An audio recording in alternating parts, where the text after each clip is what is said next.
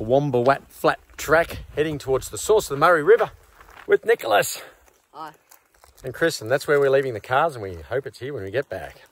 Easy walk, Chris. Terribly easy. Any old man can do it. So we're a kilometre down the track, and we're waiting now. Why? Uh, Nick left the compass and the map in the car. So he's gone back to get it. That's Nick, not me. His responsibility. Teach the kid, make him pay. Cowombat Flat. We made it, Nick. Yep.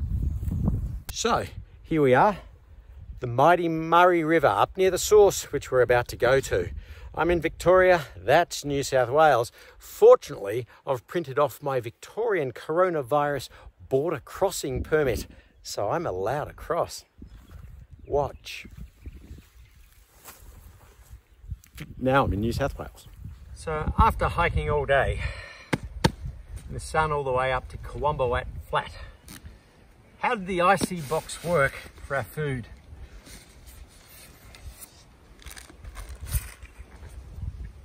I suspect it's worked a little too well. It's actually still frozen. It's thawed a little, but it's solid in the middle. So our little icy flat pack box has managed to keep frozen food frozen while hiking through the central Victorian highlands. So it's about uh, quarter to five. We've left Cowombat Flat and we're going up Cowombat Flat track after having set up our tents. And we're going to try and find, what are we trying to find, Nick? The source of the Murray. And who's navigating us?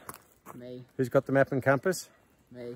Okay, looks like we're getting lost. And this little boggy valley is the source of the Murray River.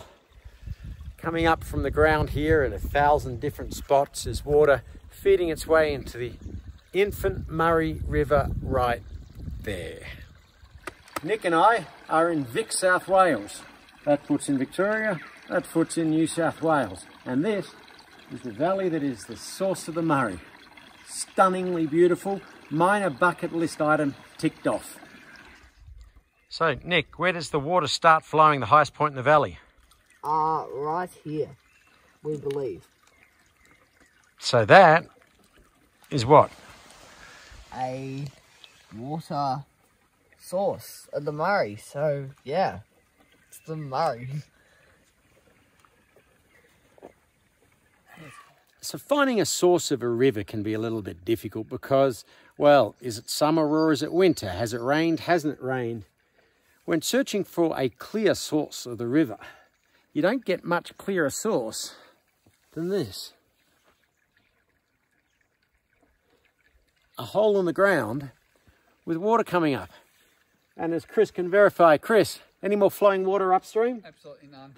So at least for today, in summer, without snowmelt, that is the source of the Murray River. Agreed, Nick? Yep. Job done.